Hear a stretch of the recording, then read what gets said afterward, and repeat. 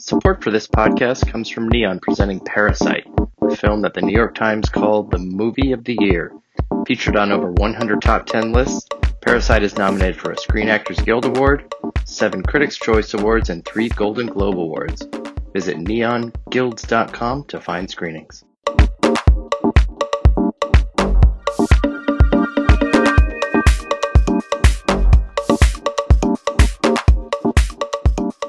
Hi, everyone, and welcome to the Awards Watch Oscar podcast. I'm your host, Eric Anderson, as usual, and this is a Golden Globes podcast.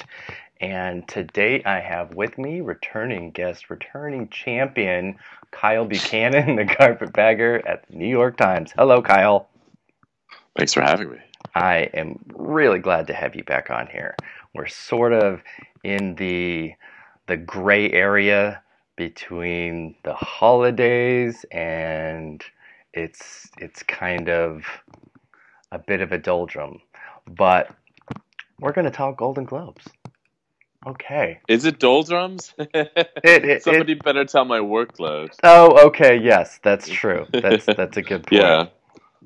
With uh, you know, all of the year-end movies coming out, there's still a ton to write and uh, box office to watch, and everybody is whispering to everybody about everything. So it's it's kind of a fruitful time, even though this is supposed to be a vacation. It hasn't quite felt like that yet. Yeah, and on top of that, it's the end of a decade, so we're getting all of the end of decade lists and ideas from Yeah.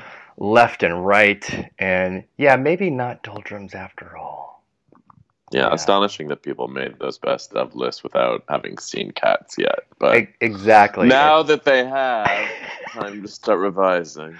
Much like Cats itself, these lists will have to be re edited for accuracy. hmm Yes.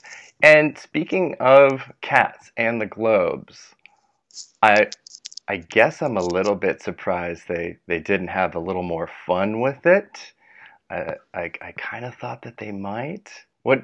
Yeah, the the Globes have historically been very welcoming to musicals, no matter uh, how good or bad they are. Um, which Cats is both. Exa- Um, exactly. Yeah, I had I, I, what I had heard is that you know obviously Cats was barely finished in time, and whether it even did get finished is arguable. Um, but uh, a screening was set very late, and not everybody from the HFPA was able to go to it. Still, yeah, uh, a sort of startling omission, given that it did get at least one nomination with uh, the original song for Taylor Swift's song. Yeah. Uh, not that we'll see that at the Oscars. I know. That's that is it's not the, the the turn that I expected this to take. Not not at all. Yeah, But I love some good twists and turns, though. yes, I think there's a few uh, with the Globes too that are that are kind of interesting, like Marriage Story leading nominations, but then Noah Baumbach being snubbed. So it's there's I think there's Yeah, a, a lot of room for for weird things to happen. I don't even think that's all that weird. That's something that I think we see more and more uh, with a lot of award shows, sometimes even the Oscars, when it comes to somebody who's directing something that is mostly considered to be a screenplay achievement. Um, obviously, there's so much more that went into Marriage Story. It's just that we've entered this phase, I feel like, in the last 15 years, where Best Director tends to be a reward for like an audacious technical achievement, or at least a sort of auteurism that makes itself known more than his does. Um, you know, uh, Kenneth Lonergan uh, didn't always get nominated for Best Director when Manchester by the Sea was picking Mhm. up awards, and and I think Noah Baumbach might be facing the same fate. I think you're I think you're absolutely right, especially when you look at this lineup and and it's and best director is is kind of turned into a little bit of like most director, like Right. cinematography and editing uh, awards and categories have have done a little bit of that, a little bit. Yeah.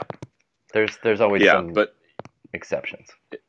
it definitely swings more towards technical achievements and i think often when you see the picture and director split which we've seen so much of over the last few years it's because they're rewarding a major technical achievement in best director Well, then what about when you have a situation, and we have a few of those this season, uh, where the director is also the screenwriter, and they are both, in a lot of ways, equally regarded uh, successes? Because we've got like What's like an Bong- example of that? Well, like Bong Joon Ho and Quentin Tarantino, I think are are two examples of writer directors who whose work is uh, it's like inextricable to to separate the two. No, you're you're right in Tarantino's case. I think uh, because he's only ever won the screenplay award and never best director or best picture, which is the case that they're going to be making to voters. That it's time for this person who's you know uh, we're talking about the Oscars, not Golden Globes. Yes. Uh, but uh, you know they're they're making the case that it's time, given that he's you know allegedly not going to direct very many more movies, and he's sort of given them something that feels like it was made exactly for Hollywood and the Oscars and this sort of voting body. Who knows if he will again, or if he'll just make another bloody western. Um, Yeah. but um, yeah, it's it's uh, in the case of Bong Joon Ho, I think it's being regarded as a directorial achievement, though the screenplay um, is, it, uh, you know, the the path to Best Picture uh, runs so often through screenplay. So considering that is regarded so strongly, um, I think that's uh, that's all to the good for him. Yeah, that's what I was thinking too, and just kind of looking at what the the Critics Awards have kind of gone to, and Parasite's doing okay. Once Upon a Time in Hollywood is doing okay, but like Marriage Story and Little Women have done better than both. Yes. So it's it's an interesting yeah thing. So Kyle, you were talking about the era of picture director splits, and and it's certainly more common. And sticking with with Bong Joon Ho and and Quentin Tarantino in this part of the conversation, are you are you thinking that we're on a path for that here, or that are these just two guys that are going to run it? I think there are three guys that we need to be keeping in mind: Bong, Tarantino, and Scorsese. Okay. Um, uh, ultimately, when it comes to the Oscars, you know, a lot can change between here and there. Um, certainly, all the signs are are sterling for Parasite after it did so well at uh, SAG, picking up that cast nomination. That really made me think that this film could go all the way, uh, potentially to picture or director. Um, if sort of recent trends hold, uh, director is the place where they would probably recognize it if there were a split. Um, director, they again, it's a, a, sort of audacious technical achievement, maybe arguably more so than what Scorsese and Tarantino have delivered. Um, you know, it's so tight, it's so perfectly uh, framed and, and storyboarded and clever. Um, and uh, best director often goes very international. Um, so I can see an outcome where Bong wins director, and then uh, Once Upon a Time in Hollywood or Irishman takes Best Picture. I could also maybe see an outcome where Parasite takes both. Um, it's kind of exciting that we have, I think, three very, very strong movies in the mix this year from major A-list directors. No, uh, no Peter Farrelly in the bunch. Exactly, and I think that's the exact scenario that uh, the Golden Globes look like too, because obviously, since Parasite can't compete against Once Upon a Time or The Irishman, but just in its own foreign language film category, we could see each Yeah. one of those winning their respective categories, and most likely will. And then, Right. I mean, I assume I assume your listeners know why that is, which is the Golden Globes Yes. have a dumb, outdated rule that if it is a foreign language film, it can't for best director or, or uh, for uh, best drama or best comedy musical. That seems really stupid to me. And uh, you know, I mean, listen, we all know what's up. We all know that the Golden Globes are um, the sort of thing you put an asterisk by. Um, but it never hurts to be seen winning, and they do have influence. And at this point, I'm kind of confused as to why people haven't mounted more of a, you know, um, uh, crusade against them to get them to change that rule, which is you know, hemming in a lot of the movies, especially recently with Roma and Parasite mm-hmm. and um, The Farewell, that ought to be contending in different ways. Absolutely. I think one of the, the only good rules that they do have in place with that is that they're not beholden to uh, a country's submission in you know like the like the Oscars are.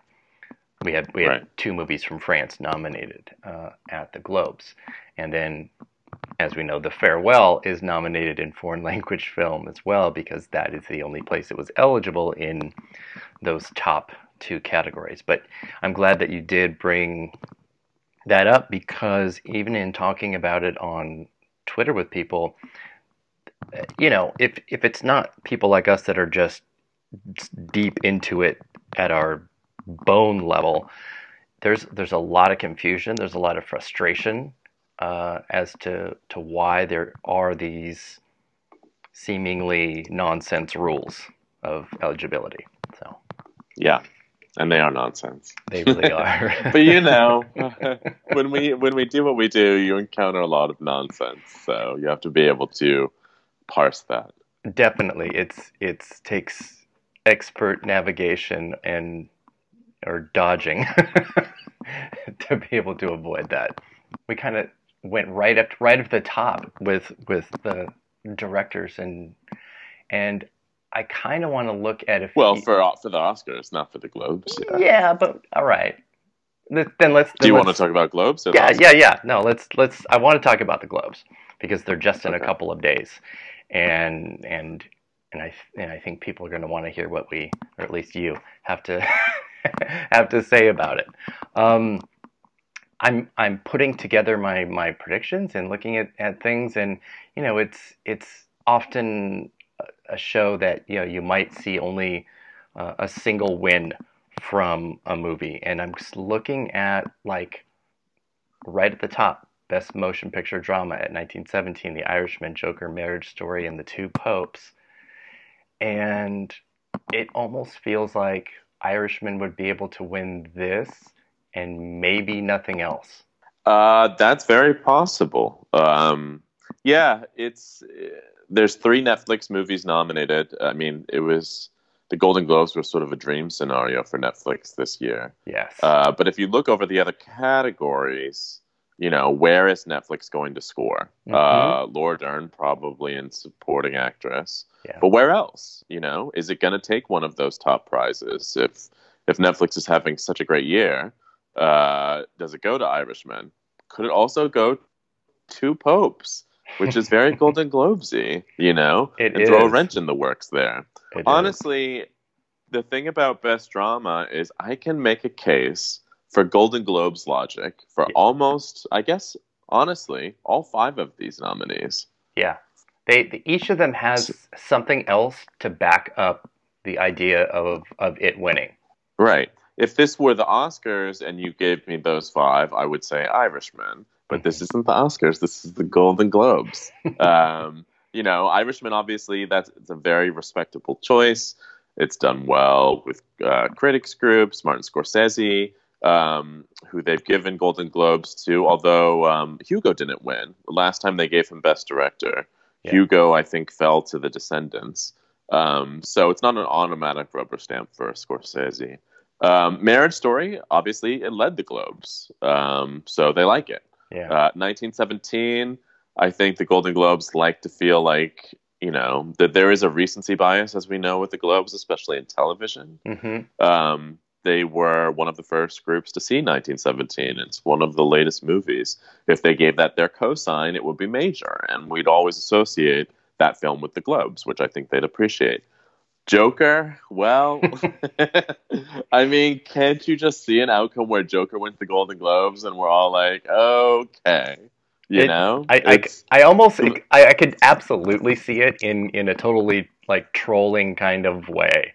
Yes. Yes. It's hard. Um, it's hard movie, to. That movie will continue to troll us all season in yes. some fashion. So why not here? Yes, and it um, did really well here. So I, I can't. Yes. I can't side eye the fact that it's as much a contender as anything else.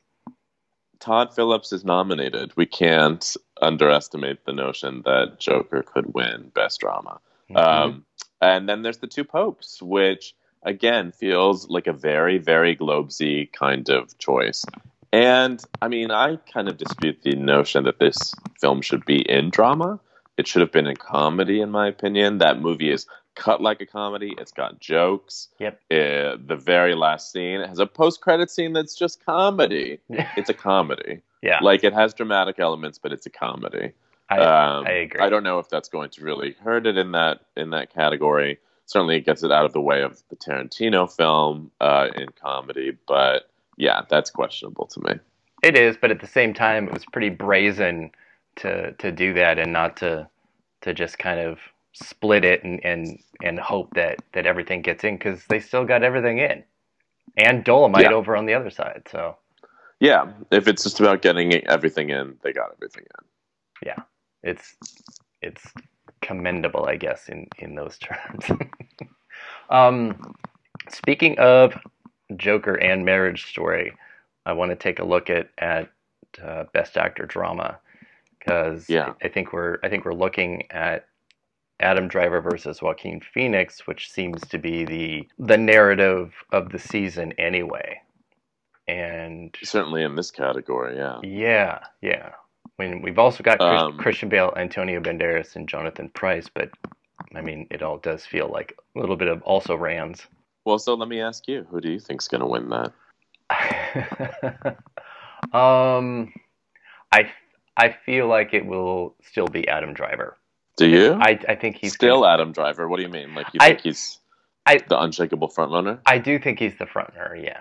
Although Uh-huh. it, I there's I can't deny that that Phoenix comes in with multiple nominations and this huge, insane, and transformative performance. Yes, I don't think you should deny those things because those I'm- are the things that I'm not. often They're, win awards. they're right there, Um, and, and I, I I think it will be Joaquin. okay. I think Joaquin.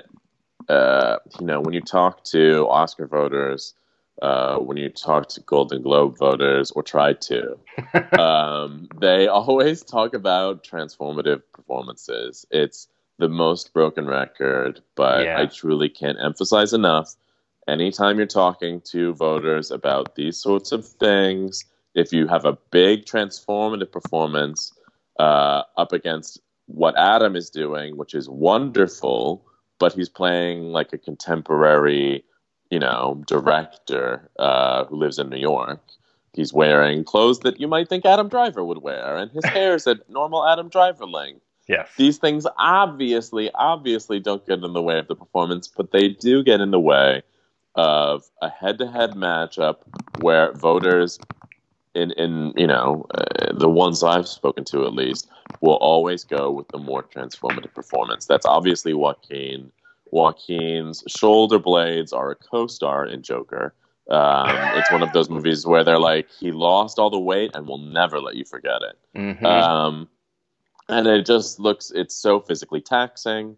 Um, this is less of a narrative of the Golden Globes, but I do think there's a potent Oscar narrative that he has never won an Oscar, though he's considered to be one of the best, if not the best, actors of his generation. He's revered by his fellow actors. Um, I think that when you look at Rami Malek winning Best Actor last year, you're going to tell me Adam Driver's going to be what Joaquin is doing? yeah, I mean, yeah, Oscar, uh, they they are never forget that they are suckers for a transformation. yeah, and you know, a, a billion dollar hit. So that's Yeah, and and with the Globes, it's nominated for Best Director as well. I mean, I would be thrilled if Adam Driver won. I think he's phenomenal in that film. I just sort of gird myself because, yeah, I, I can't, I cannot emphasize enough. That's why I keep saying it. You talk to voters, all they ever talk about is transformation. yeah, which you know if, if we're if we're sagging into best actress in a drama that's why renee zellweger has this like lockstep always has dominating unchallenged it is her and and that I've I've I've firmly uh, believed in as well. I have I haven't Yeah. shaken from that one single bit.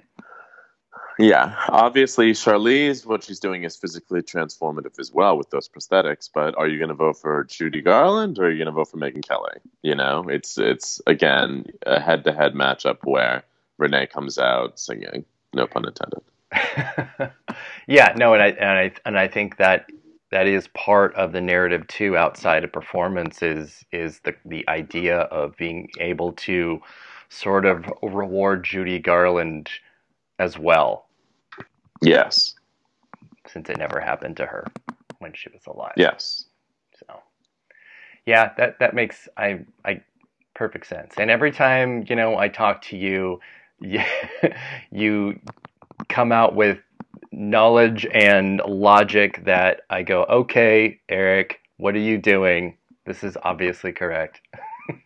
No, and, well, um, and, I'm I'm I'm also often wrong. but knowledge I mean, and logic can take you, uh, you know, a long ways, but they don't always take you to the end of the line. No, so, it's. I I think you're I think you're much closer to to write about Phoenix than I am about Driver. I don't have as as I don't have a a, a narrative push behind my reason that is as strong as as as yours, and it makes perfect sense. So well, I hope Brennan Rifkin, his publicist, is not listening to this because I'm in the middle of profiling Adam. But uh, yeah, I mean, I'm sort of surprised that that mo- so many pundits think that Adam could win this, not because the performance isn't incredible, but because of what we know about how those voters vote. Yeah, and I, I think too, in general, I my my thoughts on on the strength of Marriage Story have have weakened over the last few weeks. Uh, Why is that? A bit. Um, just your thoughts on how much you responded to it. Oh no, no, I love it. I it love it. Just, just, just awards. I, I, I had it much. I mean, I had it winning for a while. It's I've, I've had oh, it. really? Oh yes. Uh-huh. So it's it, but you know that was a month ago, and you know even two weeks can make a, a lot of difference. Yes, so. it can. Fascinating how it's been memed to death online. I never would have expected that fate for Marriage Story. It, it's but, uh, it's bizarre yeah. because it's it's yeah that totally struck me because it's not a movie yeah. that is has been widely seen in the way that you know something else would be memeable. Well, but once it once it hit Netflix, it was widely seen and yes. easily memeable. I just didn't think because of the sort of movie it was that it lent itself to that. But I guess I overlooked the fact that anything having to do with Scarlett Johansson or Adam Driver is a guaranteed conversation starter on social media. So why shouldn't a big fight between the two become a meme? That's absolutely true. And sometimes, you know, the the the meme creation totally transcends, you know, whatever the original content is anyway. The whole uh, Real Housewives cat meme is completely outside of the show it's it's you can put it to anything. Uh, so I yes. think I think that's kind of what happened.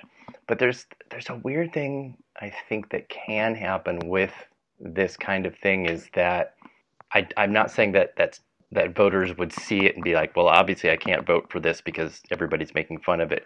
But maybe there's a tinge. No, they have no idea, especially Golden Globe voters. Not at all. Are you kidding? Yeah. Absolutely not. but Oscar voters never do too. I mean, you know, I think people think what they're seeing on social media or those bubbles or those backlashes yeah. matter, and they just never do. I mean, this is what I.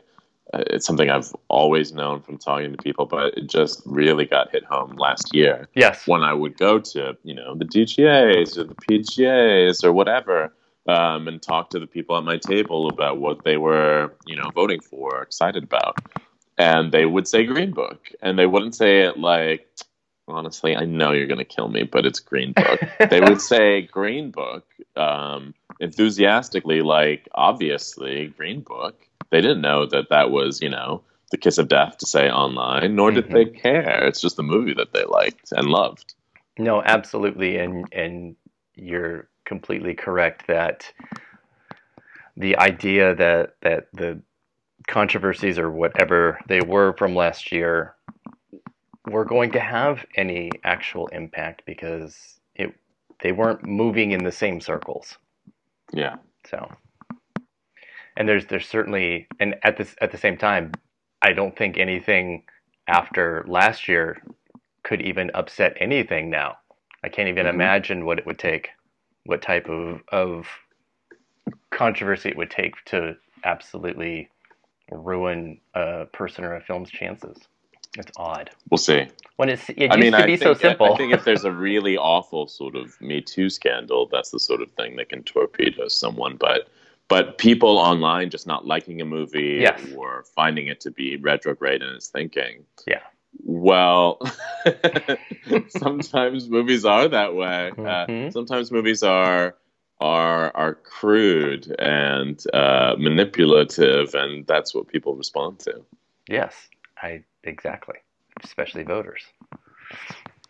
Uh, all right, let's look at let's look at some of the other acting categories since we've kind of nailed down those lead drama categories. I actually really want to look at supporting because we've Yes. seen now Tom Hanks, Al Pacino, Joe Pesci, and Brad Pitt kind of run the nominations. They've they've gotten everything so far. All we have left is BAFTA to give us that final little little piece.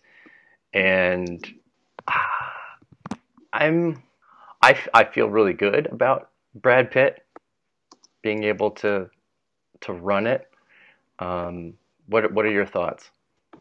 You know, and I know the Golden Globes are starfuckers. So the fact that they can give Brad Pitt a Golden Globe and it's like condoned and he might win all season and they can kick that off, they'll fucking love that. Um, I think the question is uh, how how will Brad Pitt adapt to having to go up and give so many speeches all season? Because awards, he has a very uneasy relationship with them. I mean, he has uh, produced or appeared in so many of the recent films that won Best Picture, but he doesn't even always go to the Oscars. He wasn't at the Oscars when Moonlight, a film that his company Plan B produced, won Yeah. Best Picture. Yeah. Um, you know, he's uh, so it, it'll it'll be interesting to see him forced to take the stage so often. I, I wonder uh, less about whether he will win and more about the increasing brevity of his speeches as the season goes on. Yeah, you you said the exact word that I was going to say. I feel like he's going to be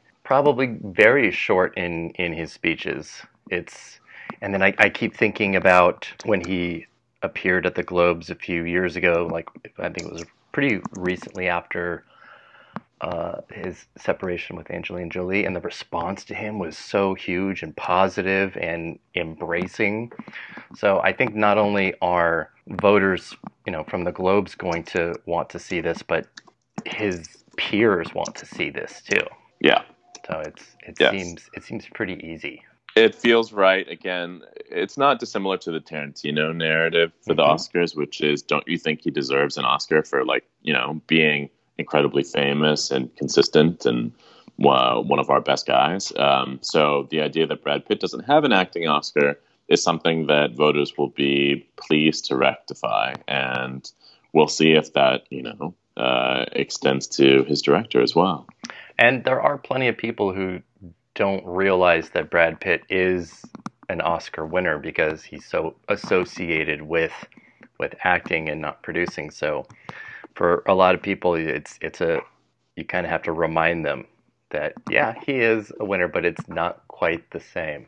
And so over in supporting actress though is it's a little different. We've got a wider breakdown between like Globes and SAG and even Critics' Choice. But the the three that are that are sticking to it are Laura Dern, Jennifer Lopez, and Margot Robbie. But yeah, I mean, I, I envision Laura Dern having a somewhat Pitt-like uh, march through award season. It strikes me that we could have a somewhat boring uh, season when it comes to the acting races because there's a very real possibility that Pitt, Dern, and Zellweger could just sort of sweep the entire season. And if you're inclined to my way of thinking, Phoenix could be among them as well. Um, if there's any place where I think Dern could fall, it's probably the Golden Globes, just because Jennifer Lopez winning would be so chic, so Yep. fun, so everybody would be into that. Uh, the Golden Globes are no stranger to, li- to delivering a supporting actress upset. Um, and I think they might regard Laura Dern as more Oscar affiliated, given how much you know she's a, a, sort of an Academy stalwart. So there's no doubt in my mind that Laura Dern will win the Oscar, given all of those things. But the Golden Globes, there's room. There's room for J Lo. Who knows? I think so too. I I totally agree. I I imagine her uh, Lopez being able to win this, not easily, but absolutely being able to do it. And well, I'd, I'd feel better about it if Hustlers had gotten like anything else from yeah. the Globes. You know, uh, Marriage Story is the nomination leader. So when I say that this is the only shot that J Lo has at knocking off Laura Dern, I don't think it's a strong shot. Yeah, I'm just saying that there's a little more room here than there will be the rest of the season. Certainly, if Dern wins here, it's just going to be, you know, coronation after coronation. Yeah, I, I think that's absolutely correct. If if Dern can win here, then there's there's really that's nothing that's going to stop her at that point. Yeah. I know a lot of people want Jennifer Lopez to win and, and really adore her performance and really love the idea of her at this stage of her career being being in the place that she's in. So she's going to have a pretty awesome first few months of this year, of the of the year. Yeah, I hate that this is coming down to um, a gay war between Jennifer Lopez and Laura Dern. Like, can, can, we celebrate the idea of that instead of having to divide into factions and, you know, uh, and tear the other woman down? It's amazing that we have uh, a Dern versus Lopez contest. Let's celebrate that. I completely agree. Every time I see, like, you know, th- these factions of of of people that are you know only one and they're just ride or die and and it, to the point of just denigrating the other. I, I'm just looking at both of these, going, "How great is this? How awesome!" Yeah, no, it's it's weird. I mean, this is uh this is a thing that happens. I'm I'm noticing it with the Democratic primary as well, where once you've picked your favorite, uh, it's it's all about sort of tearing down the others, and you know we see that with pop stars. You know, if you love. Gaga, mm-hmm. then you've got to tear down Madonna. Yep. let's yeah. Let's please not do that with Laura Dern and Jennifer Lopez. I beg of you. I know. My goodness. If we if we leave this season and everybody's suddenly fucking down on Laura Dern, a gift to us all. If they're pissed that Laura Dern won, if Laura Dern becomes this like pejorative icon of white feminism, I'll just I will quit. I know. Come on, it's Laura Dern. Let's not do this. Yeah, exactly. Goodness. I'm I'm beside myself just thinking about it now.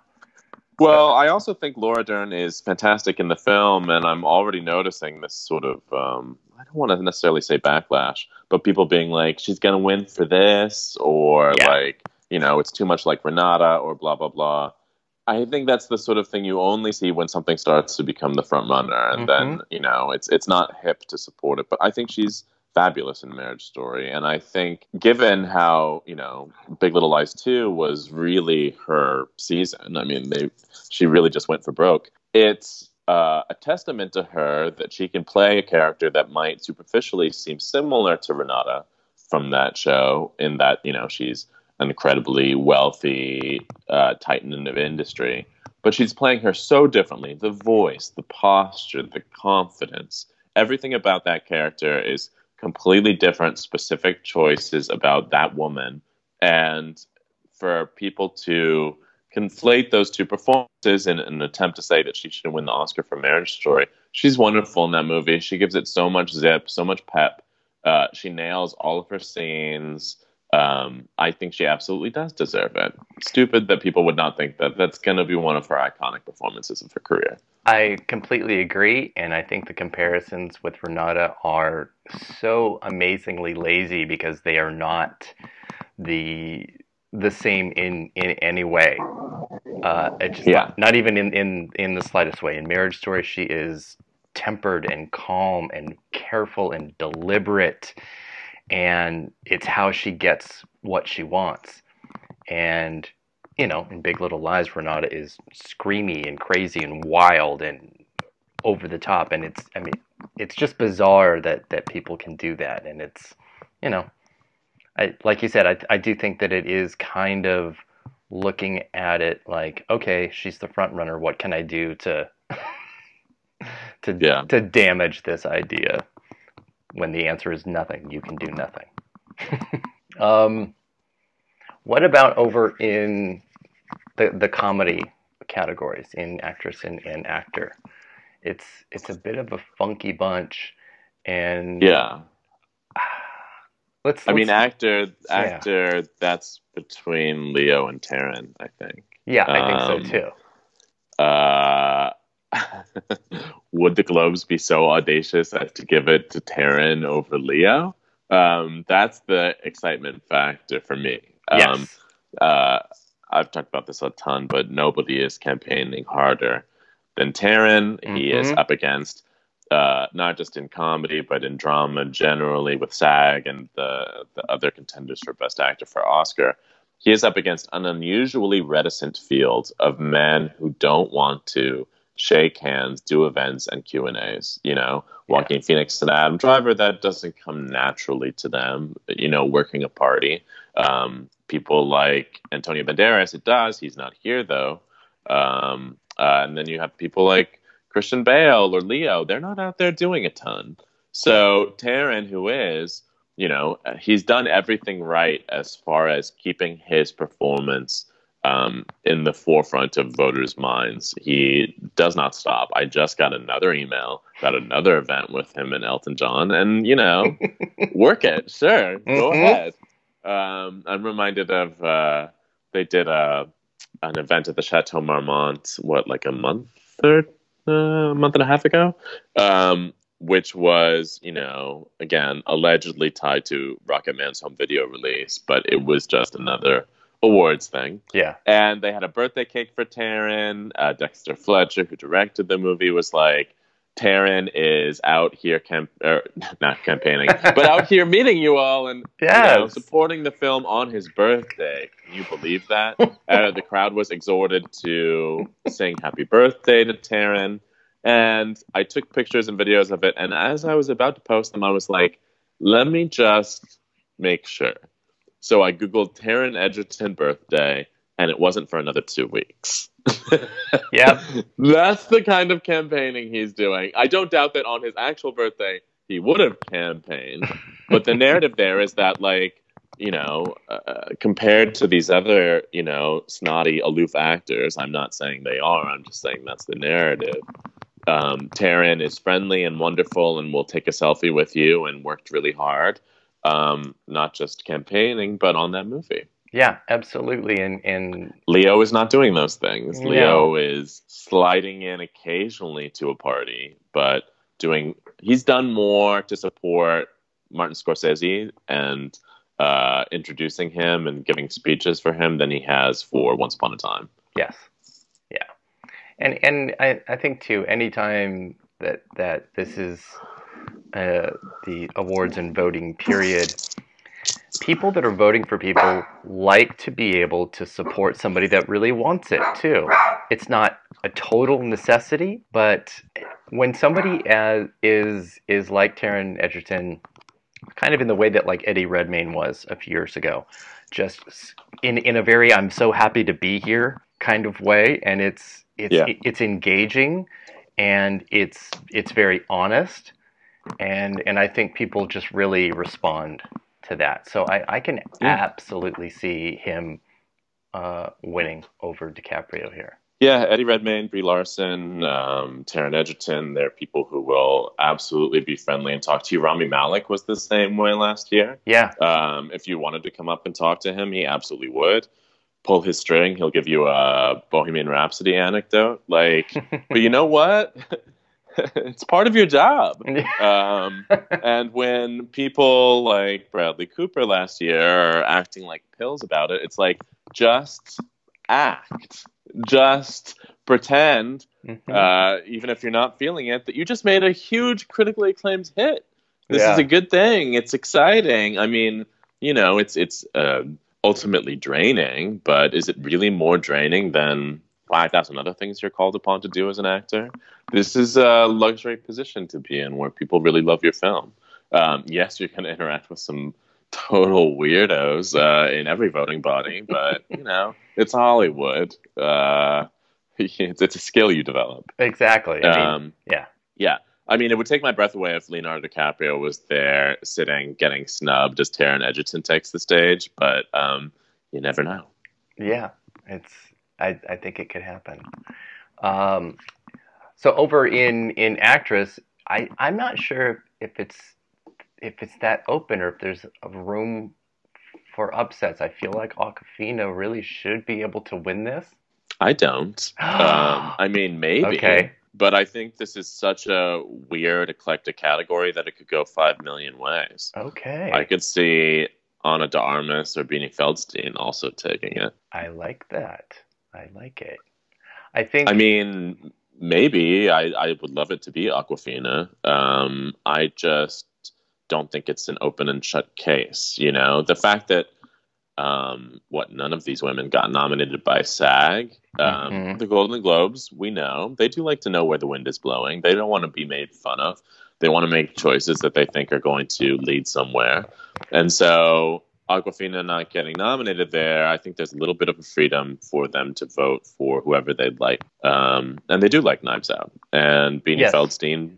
You know, I don't know. They they they might support that just because of uh, the whole Booksmart situation. But um, yeah, I don't know. I, I I if I had to put money down, I would say it's going to be Awkwafina or Ana de I think there's a great way to anoint somebody like Ana de Armas because she's going to have such a stellar year. She'll have James Bond movie, she'll have her Marilyn Monroe movie, and it would be a very globesy thing to do to be able to feel like they're kind of getting ahead out ahead of this and and and anointing her. I so I can I can absolutely see that happening. But also too No, not- and she's so good in that film. Yeah, no, Yeah. I'm curious about her next year. I, I don't think the Bond role is so big, and I've heard um, some interesting things about the Marilyn Monroe. So Yeah. we'll see. yeah. Um, uh, but uh, yeah, yeah, she's she's fabulous, and um, they like that movie, and she's so winning in it. So who knows?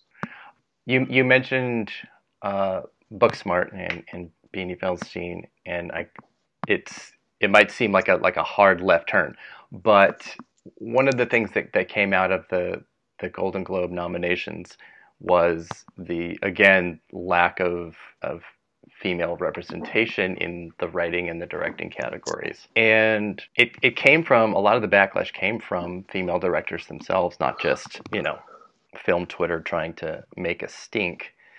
And then the response from the HFPA president was, you know, we vote on the films. And which I, you know, I'm sure that's the thing that he needs to say and, and wants to say. But it's it's it's pretty clear from past decisions that that is not always the case. Do you think that we are we were just in a situation that even though we have so many fantastic female directed films that it just wasn't enough? Because sometimes I feel like voters have to coalesce around a single female choice instead of Right.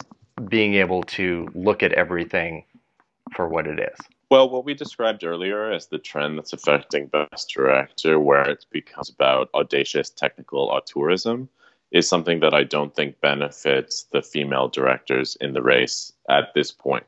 You know, because they have mostly made very human sized uh, dramas or comedies, and that's not considered to be uh, enough of a technical achievement to get people's attention in Best Director. I mean, even what Noah Baumbach is doing, which is more in line with you know a Marielle Heller or Lulu Wang, um, did not get a Best Director nomination, and I think it's um, you know it's a catch twenty two because the movies that have the budgets that have the largesse to let a female director really, you know, make a visual statement, the kind that would catch these voters' eyes. Well, they don't often get those sorts of movies. Mhm. You know, um, when they do, it's a Marvel movie.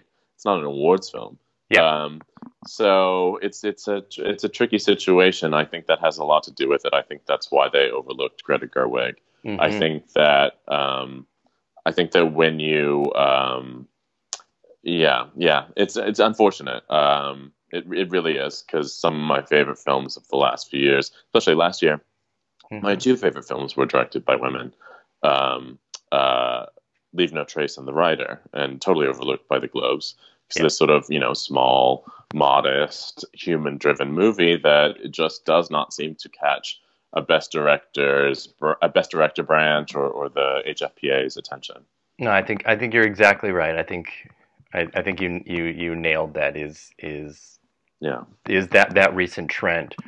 Okay, let's take a look at foreign language film, which you know I, I I think it seems like it has a pretty clear direction, but like we mentioned earlier, one of the the good things about the Globes is that they don't have the same rule as the Oscars of of what they can nominate. You still have to be submitted, but you don't have to be, you know, one movie per country.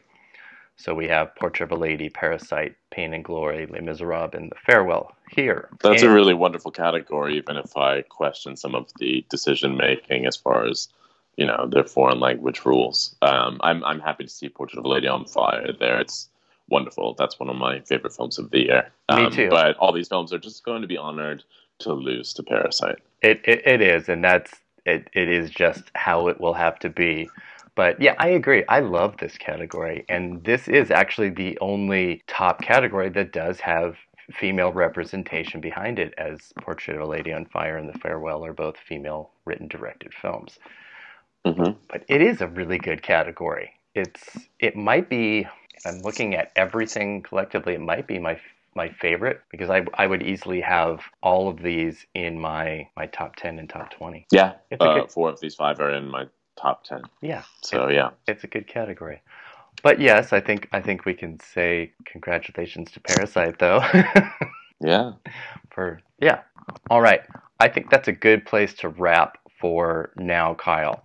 And i am so so glad to have had you back on the show and and and really really happy to talk to you again. Of course, anytime. All right. Thanks everybody for listening. Bye bye.